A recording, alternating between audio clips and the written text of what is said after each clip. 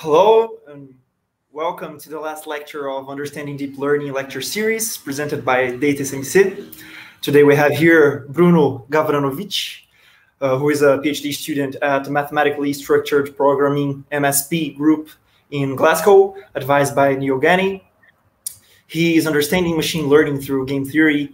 Uh, uh, his understanding, sorry, machine learning uh, and game theory through the lens of category theory and functional programming. And before joining MSP, he obtained his bachelor's and master's at the Faculty of Electrical Engineering and Computing in Zagreb. Bruno, thank you for being here today, and please take it away. Thank you. Uh, so just to check this, you see, ah, you see the screen, right?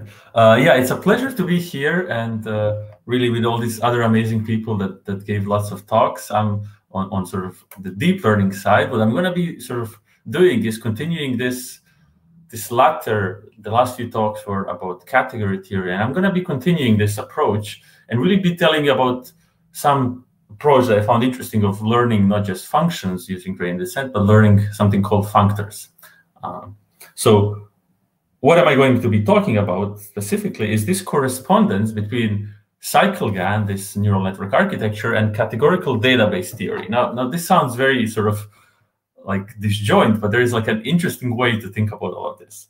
So, so really why is to, first of all, to understand CycleGAN, to understand like the, the structure of learning that happens in it, but really to transfer also ideas between two different fields.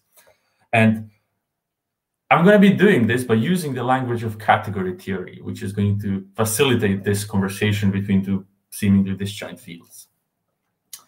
Um, so yeah, it's sort of something different, uh, what, what I would say. Uh, so what, what is, what is category theory? Uh, you've seen, maybe you've seen Brendan Fong and, and uh, Joao talk about uh, category theory, and really it's a compositional language for describing systems. It's, it really creates these new abstractions that lets us, that let us understand the world in, I would say, in a simple way and give us systematic way to check abstract claims. I've I've come I've started sort of with machine learning, then went more into category theory as means to understand machine learning. And and for me, it's really just a, it's a good way to organize my thoughts, to write things down, to be explicit in to say what I mean and mean what I say, and sort of to be less vague and, and less ad hoc. And uh, but hopefully you're gonna see this from the whole talk. I don't want to talk much about what this is. Hopefully you can see it. And what I want to say is uh, this is not something I want to impose. Uh, all I want to say is, to leave you with a quote, is the more clean and consistent your abstractions are, the more it will seem like you are abiding by the laws of category theory. You don't need to know this. You might just reinvent this. So uh, what I'm going to be talking about uh, today is really category theory, but practical experiments. So uh, Joao and, Brendan were talking about how some, some abstract structure of, of how this work, and I'm going to continue uh, talking about how neural networks works abstractly, but I'm really going to be telling you about a new architecture of neural networks that uh, performs object insertion and deletion with unpaired data in an object invariant way. Uh, uh, and in a way, this is all very, very early stage work. I believe the potential of CT is immense. Um, so, so there's lots of ground to cover today. So I'm gonna again, you feel free to interrupt me and ask questions. So I'm gonna really be talking start with CycleGAN, have a slight detour into categorical databases, and then really unpack what CycleGAN, how we can think about it in terms of graphs, free categories, some quotient categories, some equations, and we're gonna really try to understand this new schema, new blueprint of, of, of a network that we can train. Um, uh, so, so that's about it uh, for the start. So I'm just gonna go into it because uh, there's, as I said, lots of stuff. So generative modeling, uh, when it comes to images, at the very least, uh, the state of the art looks something like this. This is an image of, from the StyleGAN paper where you see really amazing high, high resolution pictures being generated that you know have to look to see whether they are real or generated. Uh, and it's it's really it's really astonishing. What's so how, how it sort of works? Like when you train it, you have this you have this training data, and you've tried you're trying to find this manifold uh, where the real images are, and then sample from it to get like new images that are outside of your training data. And some idea is really to think about how can we control this network output? How can we say, well, what's going to be generated outside? Uh, there's many approaches to do that, but essentially there is an issue of us really just needing to sample from a point and not really sample from a distribution, not really knowing what's going to come out.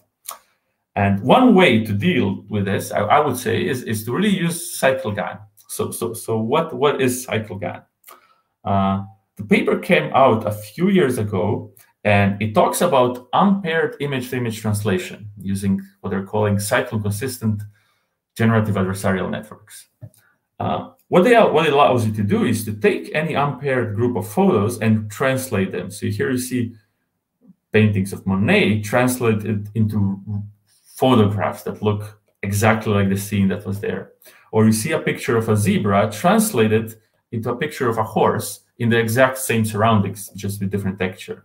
Same goes for summer to winter photos. Uh, so what you can also do is take a photograph and then learn, the network can learn how Monet paints, how Van Gogh paints, Cezanne, and so on, and translate these photographs into all these different styles. And how it does that is the following.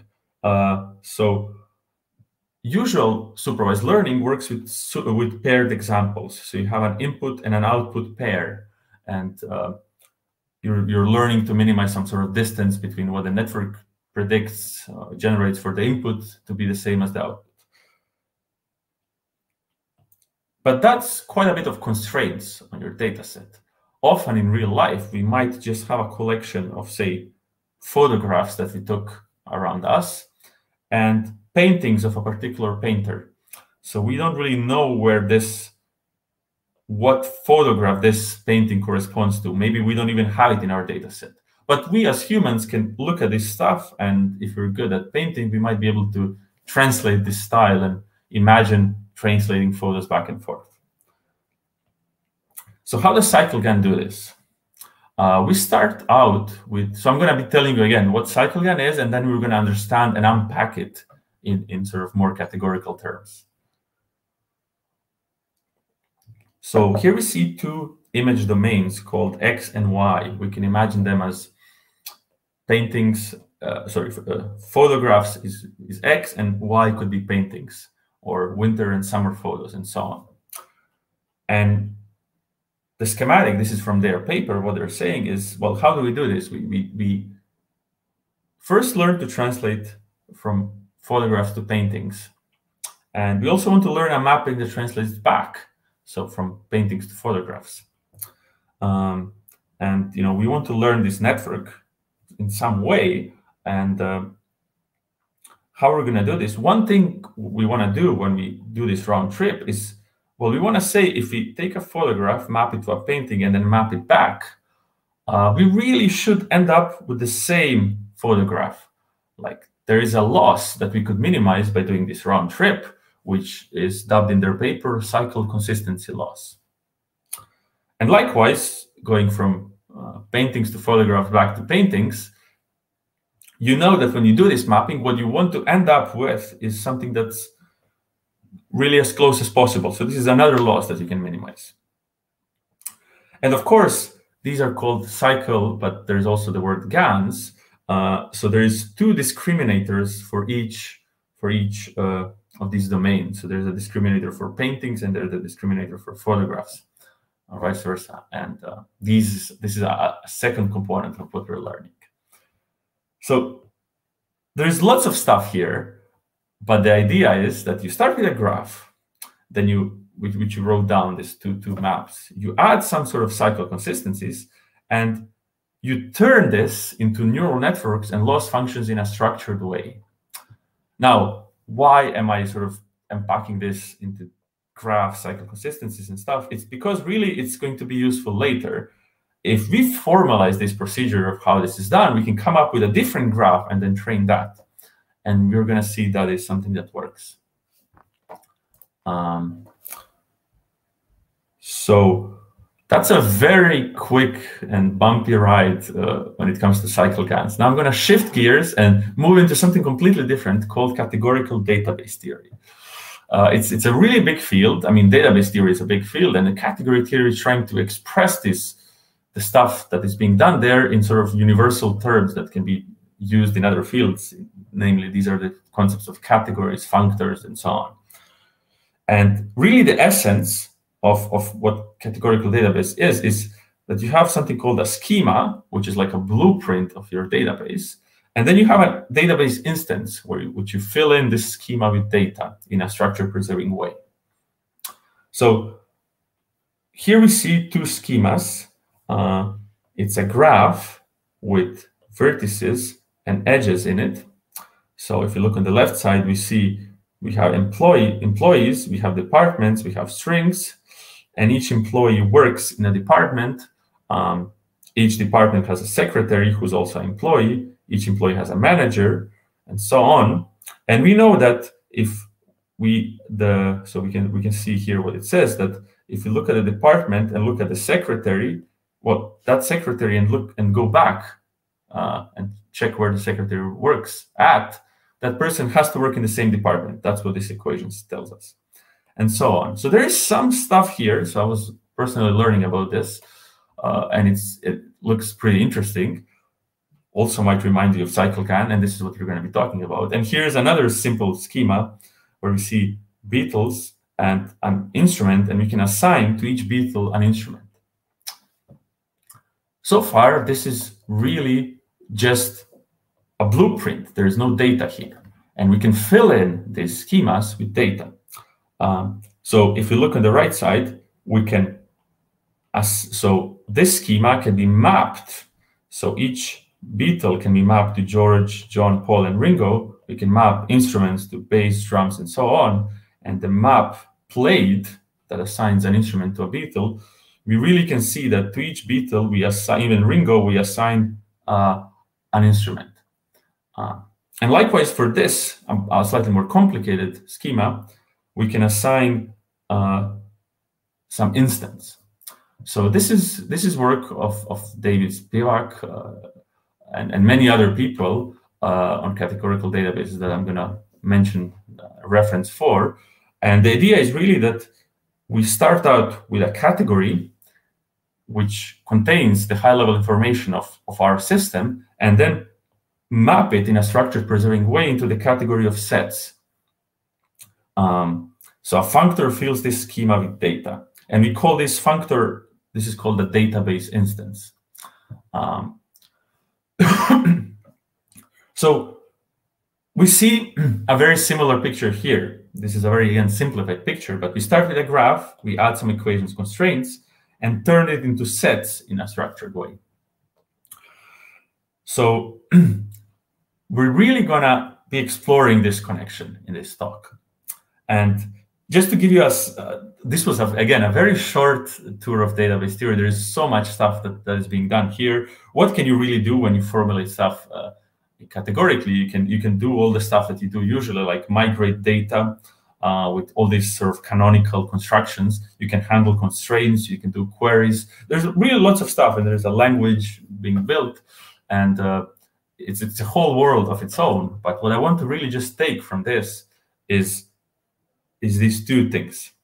So in both CycleGAN and databases, in categorical databases, we have this blueprint, a category, which contains the high level information of what it is what it is that we want to do. And we have a structured way of turning it into useful data. So that's a functor for us. Uh, so for databases, we have a functor from C into the category of sets. And uh, you can always think of these other useful things that you can do, like you can map it into the category of vector spaces or, or something else. There's all these things that you know maybe are not used in databases, but category theory allows you sort of to think about it a bit differently. Uh, and one way, one thing you can do is you can map it into the category of parameterized uh, smooth functions, which is uh, what Brendan talked about in the last talk, uh, which is sort of the corner, the basis of what neural networks, uh, it's the basis of neural networks. Uh, so we're going to really now look at this in more detail when I say this blueprint or a category, um, this can be thought of in many different ways. And there's like we can add more and more structure to this depending on what it is that we want to do. So we can just flat out start with a graph and not impose any equations. Uh, or we can just then say, well, no, some paths should be the same. And then we can add more and more structure. We can sort of say some really high level con constructions uh, in terms of categorical sketches. Uh, this is something I'm not going to be talking about in this talk, but I just want to give you an overview of how this is going to go. Um, so before I go into sort of graphs and, and, and explain how, how, this, how this works, really the rough idea now will be uh, to use this language of category theory, express how we can map all this stuff into parameterized functions, which if you've seen the previous talk, it's really how we can easily compositionally think about neural networks and then see what we're going to get out. And it's something quite, quite interesting.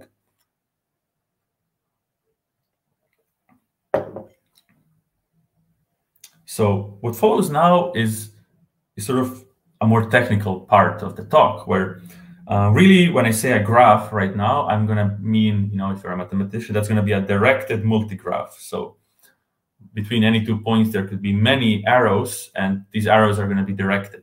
Uh, so, so something like this. And what we really want to be talking, what we we want to be talking about when we have sort of a graph, say this cycle GAN that we've seen before. Uh, well, if if you just have a graph.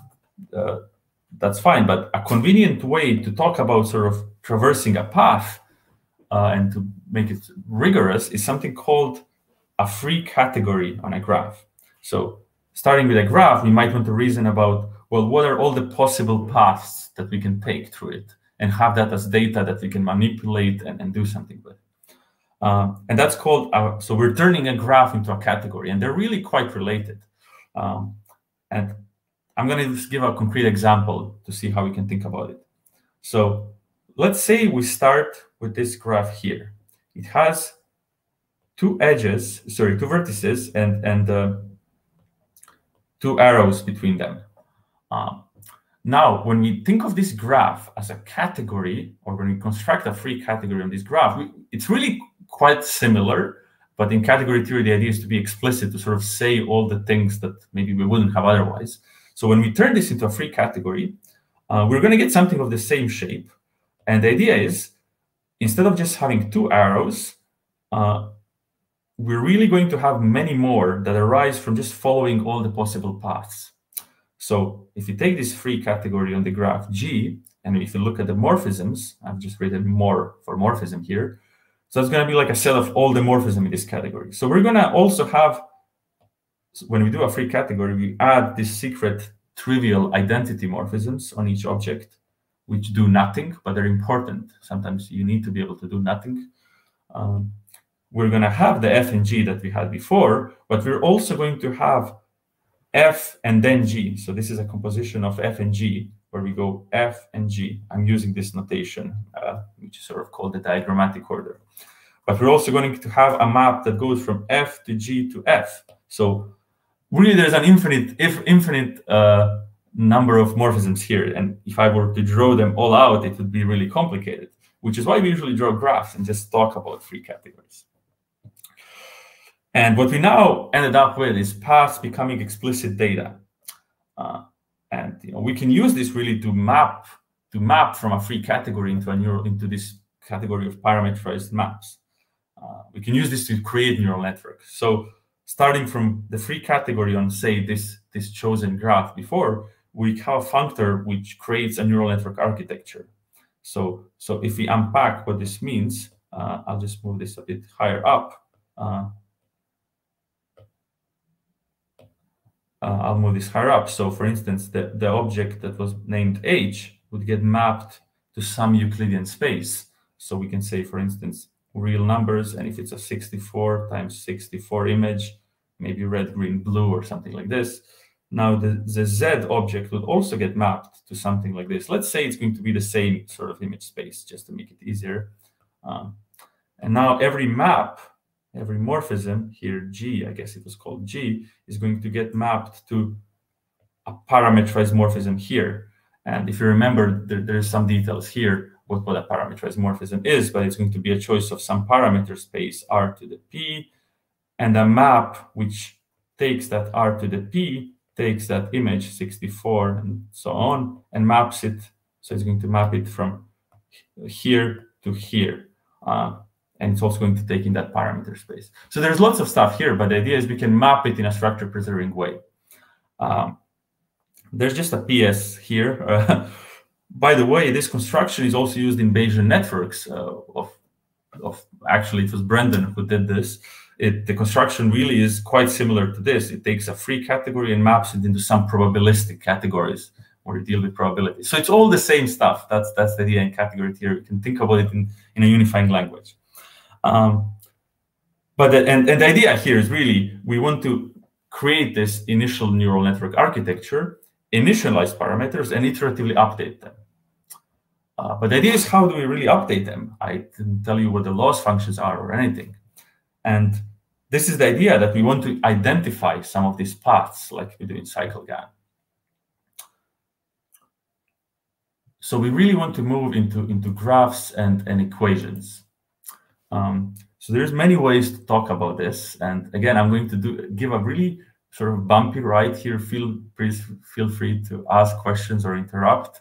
Um, uh, it might be all. It's also okay if I, I go too fast. I'm sure it took me a long time sort of to understand all these quotient categories. So, but I'll try to do my best really to to to say how, how we're thinking about this. Um, I might have to skip quite a bit. So identifying some paths, sort of in category theory language, you would say where you take you're taking a quotient category, and uh, and thinking of a category that has some sort of generating morphisms, the one that's, that, that arise from a graph, and then some relations between these morphisms where you say, well, round trip is the same as the nothing or something like this is, is also called a schema. And um, this arises from the work of, of, of David Spivak uh, in functorial data migration that you can look up. So that's, that's also called a schema. So, so if you remember our CycleGAN picture from before, it really is the case that cycle consistencies are these equations. Uh, they're also often called path equations. And really, you can formalize the blueprint of a CycleGAN using quotient categories. So, so how how this could be written in category theoretic terms is you take this free category and sort of quotient it out by some equivalence congruence relation, um, and in that's just fancy fancy language for really saying well we're going to add some equations that we want to be satisfied to this to this category so here we, we see that we have the same graph as before you know, we can form a free category on it. But then we say, well, actually, we want to say that when you do a G and then you do an F, that is the same as doing identity on H. And really now when we unpack what the morphisms in this quotient of the free category are, we see that really there's not many morphisms. There's just identity in both of these. When we compose G and F, really that's just identity. It's not a different morphism. So again, I'm not telling maybe, I'm not saying maybe anything new, or all I am doing is restating the, the, the CycleGAN paper in, in, in, in a different language that happens to be the same language used for categorical databases. So one way to sort of think about two neural network models, which I'm calling CycleGAN here and GAN, is, is like this, as, as these categories presented with some generators and some relations. So you can think about a GAN even as something that takes a latent space and maps it to an image. And of course, here I'm for now I'm ignoring discriminators. I'll talk about them towards the end of the talk. Um, uh, and here it's really sort of a bit empty without discriminator. But for CycleGAN, there is a quite a bit of interesting structure there already, even if you don't add the discriminator. Um, so we're going to be talking about them um, towards the end. And the idea is that each equation that we add can be turned into a into a supervised into a loss function essentially. So I, have skipped quite a bit of stuff, uh, just maybe for the for the essence of time. I want to get to the cool experiments later. But the idea is if you have sort of two paths between two same objects and some equivalence, you can really turn this into some sort of loss function that samples from your data set and computes some sort of distance between them. and I, this is something that you can call a path equivalence or a cycle consistency loss. and we're going to see it doesn't have to be cycles. Uh, Um, and again, I've said there's lots of stuff that's kept lots of structure you can formalize with functors and the ways they're related with data sets and the ways they're embedded in something. And I'm really not going to be talking about this because I, I, sort of want to get the idea across. Um, the, the, the, the, master thesis I've done was sort of quite a bit oriented onto the category theory. Um, but really, there's lots of lots of stuff that is easily communicable without going into maybe some some more math. Uh, and I'm not going to now talk about the question of is there any other blueprint now that like now that we formalize this you can say okay can i do something else with it? What is this useful for? And i'm going to try to argue the answer is yes and present a different schema that we can train. So yes. So this is something that i've been calling a product schema and actually this is something it has a bit more structure. So this is essentially a sketch, a categorical sketch I've mentioned before. But really, we're going to be seeing that it's sort of possible to think of it just as a simple schema. And I'm not going to go into the to the more more um, abstract category theory here. Uh, what is it going to do is like CycleGAN sort of maps. CycleGAN is essentially an isomorphism uh, that we're learning, and you can learn it without paired data. Now, a product talks about two objects together. It takes, it puts them together somehow. And if it's a product, you can also remove one object. You can project down.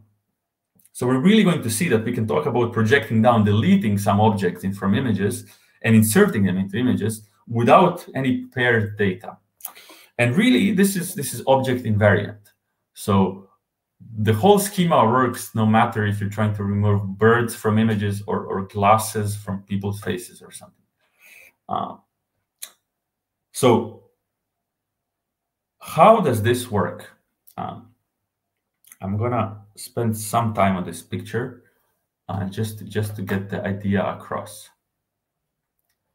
So there's lots of stuff happening in this picture, but two things you should have in mind is that we have here two data sets, sort of one of just stripes um, that could change their color, and one of the circles that could change their color.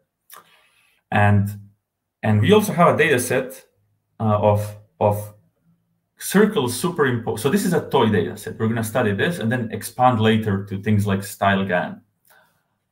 Um, so we also have a data set of circles superimposed on these stripes. So now we know the following we know uh, this is sort of the things that we start with.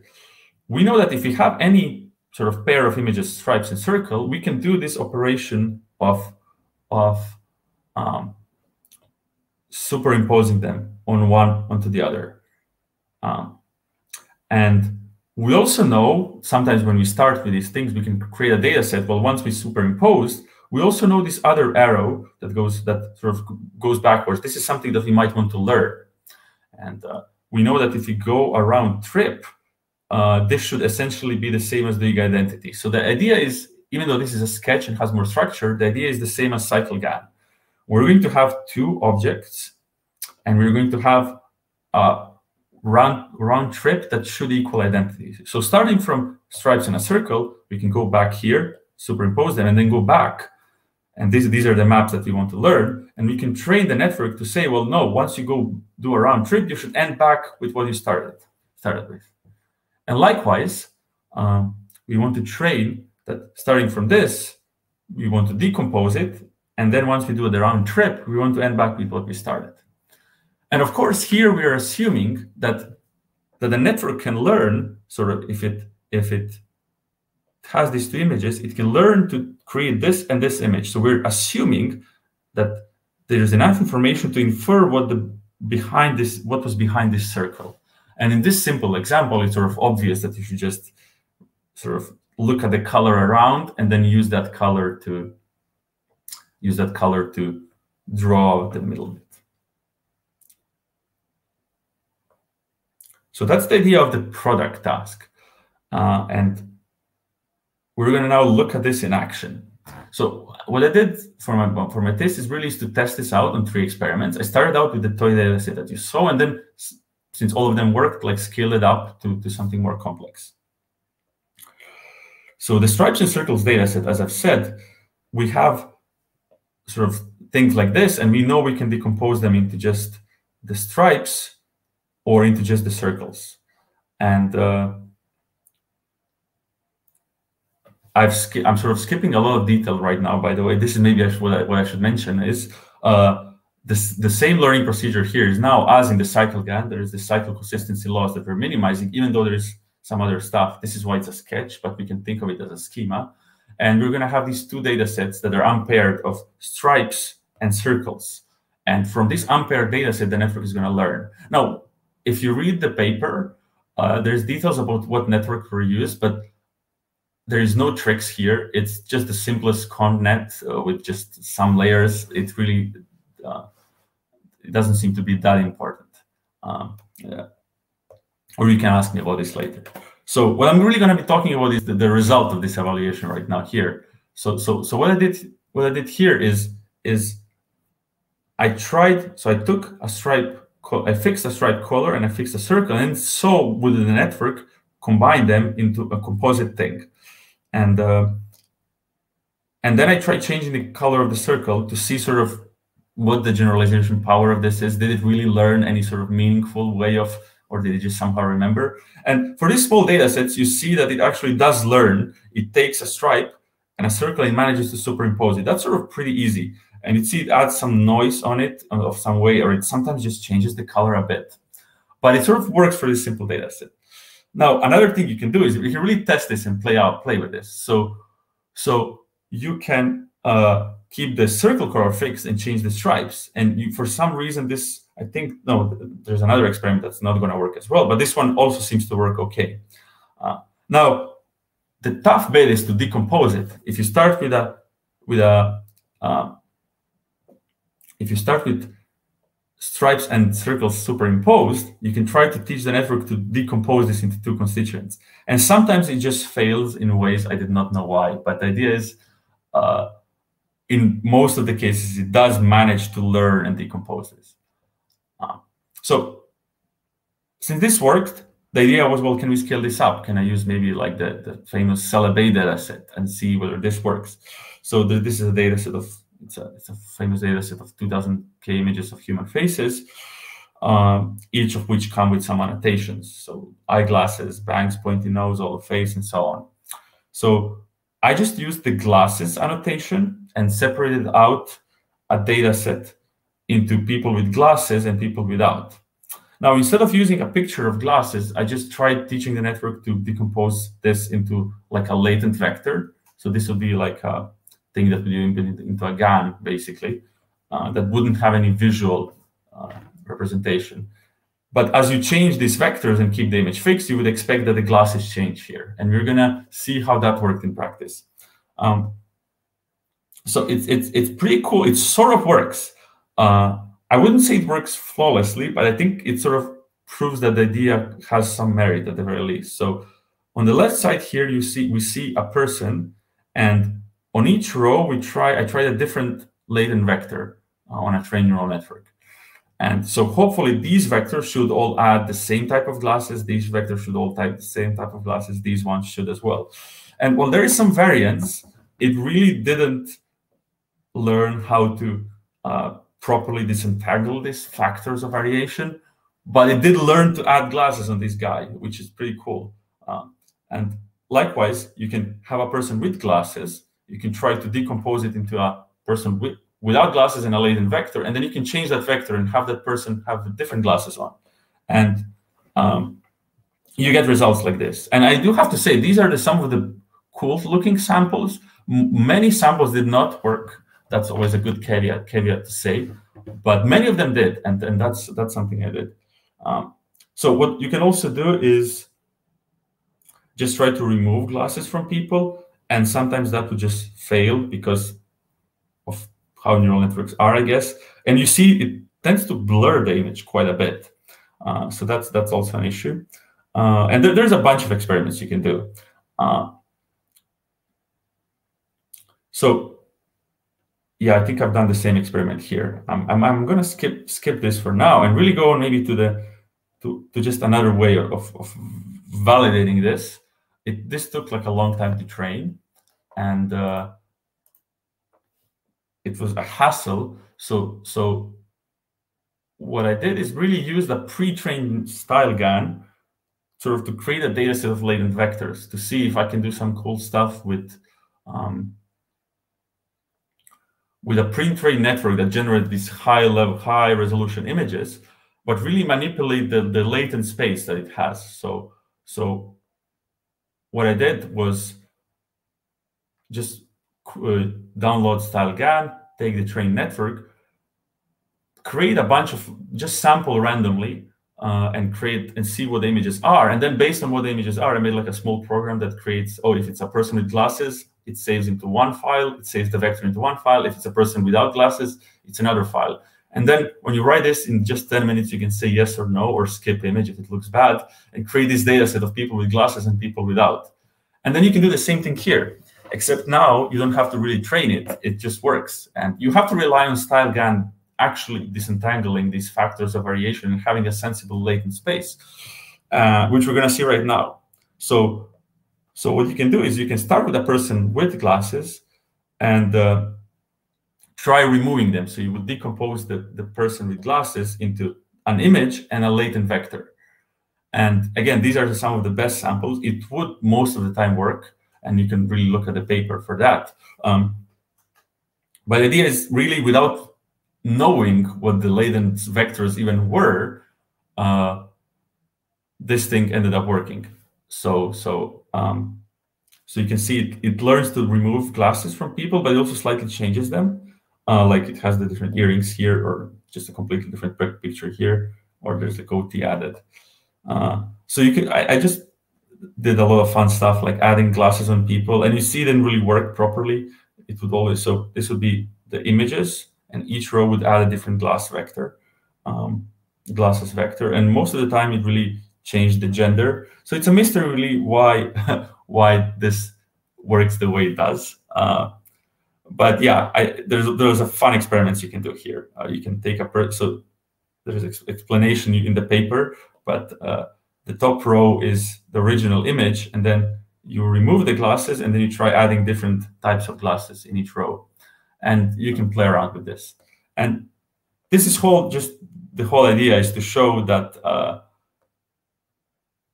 the whole, the whole idea is to show really that there's another schema that you can do and, and play around with, uh, which is sort of directly inspired by, by, by these categorical databases. It was once you do CycleGAN, you can really start asking, well, what, what else can we do? Um, so, so this was a again a very bumpy ride of, of, of some of the things that happen are happening with with with category theory and machine learning. And we, are doing quite a bit of work right now and really sort of showing that it's a good framework to, for thinking about neural networks, for connecting them to a lot of work that's happening in like really modern mathematics or, or programming language theory. And it's really a pedagogical tool as well. It's, it's it, it at least helped me understand stuff. So yeah, in, in conclusions, there's like a bridge you can make and really devise a new schema, delete objects and insert them without paired data and do some testing in practice. So future work for this is really to think about, so I told you this is without, the, the theory that, that here is presented is without any discriminators. But of course, in practice, you just you have you have to use them. So, so the theory is really now missing the discriminators, and there's reasons why why some things aren't clear how they work. But that's part of the future work, and I'm really happy to, if, if somebody has any ideas or, or, or questions, really about other discriminators, other schemas you can do. So recently there's been some progress in maybe framing supervised learning. So you have an input and an output, and you can frame supervised learning as you learn a map and there's a ground truth and you have an equation. GANs have their own equation. CycleGAN, if you add the extra discriminators, would have their own. You can also formalize autoencoders, which are, and this is what they say in the CycleGAN paper. CycleGAN is like an autoencoder uh, with extra added discriminators. So, so it's, it's all pretty interesting. It, it gives you a new and interesting perspective to think about. Um, and really, future work is really to connect this to some of the more recent work on category theory and neural networks, some of the stuff that Brendan mentioned, where really we found out that neural networks, loss functions, and optimizers are all the same kind of structure. they are all parameterized lenses. And I have an animation here that sort of uh, just shows roughly how the flow of information works there. I'm not going to go into this now, but there is this uh, forward and backward flow and parameters are coming from the top and there's a whole formal graphical language for this. And there, there's lots of stuff. So so i think this is where, where, I, i'm going to end and, and um, ask if there's any questions. Amazing lecture. Uh, we have some questions here. Uh, the first one is uh, how this idea of uh, graph and category theory can relate to transfer learning that's a good question. So uh, I can hypothesize widely. So in, in, in database theory, you have something. So when you have a few schemas, so you might have a schema and you might map it to say a category of sets.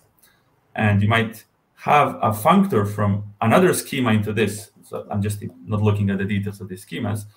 So once you do this, you can transfer sort of you can transfer the data that goes here into set and make it go from sort of from this schema into set. And you can transfer data in a structure preserving way. So, so, so one avenue to explore is really to, to look at these data migration functors and, and, and functors between these categories as sort of functors transferring data from one learning setting into a, maybe a bigger learning setting or one with more constraints. That would be one one way, I guess. But I really haven't thought about this nice. Uh, there, there's another question. Uh, do you have any good references to start learning uh, about specifically uh, category theory and neural networks uh, used together? right. So I, I've personally been doing a lot of work uh, on this. So I'm biased in saying like some of our papers make, I, I would say even quite pedagogical progress in really under in explaining what this is. So uh, I could probably post a link to, to my website with some of the papers, and I would really uh, maybe urge to see, to see some of the live talks where on the papers you don't see the animations, but I've done some recent live talks with animations like this where we where I really try to expand on how we can think about sort of composing these morphisms or some of the higher categorical structures in a, in a visual way. Um, so that's that's it. And of course, the, this is all this all started with the work of, of Brendan Fong, Spivak, and Rémy Tuyéras of this Backprop as Functor that was was shown before. So that's a good resource. And anything that, that these papers cite. Um, we recently had a paper on category theory and machine learning, which is oriented for maybe category theorists, but it's also a way of uh, it just does a, it's a survey paper which talks about many of the things that happen. So that might be a thing to check out. Or at the very least, you can also always send me an email and maybe with a specific thing. Yeah. Okay, okay. Uh, there, there's another question. Uh, how can uh, category theory help to develop new architectures? So I would say one way is the one I presented, and really, it's it's it's a like the way I'm thinking of about category theory, it helps us understand what is already there. Often you spend a lot of time really just distilling, not making new stuff, just distilling, saying things that were already existing in a different way, looking at them from a different perspective. So this different perspective is sometimes useful, but there's not like a clear-cut way of, oh, this is how you're going to create a new way. Okay. Uh, last question. Uh, can we relate? Uh, can we relate uh, disentanglement representations uh, with the results uh, presented by you in the last images. I think he I, refers to the glasses. yeah, yeah, I certainly hope so. I really don't know. that that I think that's all I have to say. Um, I haven't. It, it, does feel like disentangling some some factors of variation, something, some representations. Uh, but I'm really not familiar with the, the, sort of the more the newer work that's been done in this area. Okay, okay. Uh, that's it for today. Uh, thank you, Bruno, for the amazing lecture. And thank you so much. It's it's been a pleasure. okay. Uh, well this is the last lecture in this uh, Understanding Deep Learning lecture series. There will be a panel uh, and we will finish this amazing uh, uh, lecture series. Thank you for being here with us. Thank you, Bruno, once again, and see you next time. Bye bye. See you. Bye bye.